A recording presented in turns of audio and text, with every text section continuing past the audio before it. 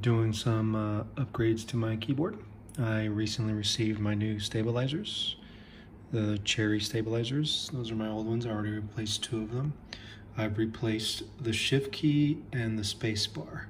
Right now I'm going to do a sound test so you can see the difference between the enter key and the backspace key to the two that I actually upgraded.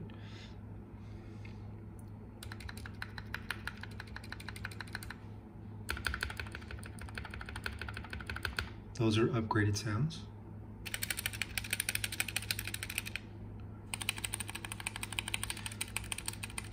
Those are the standard ones.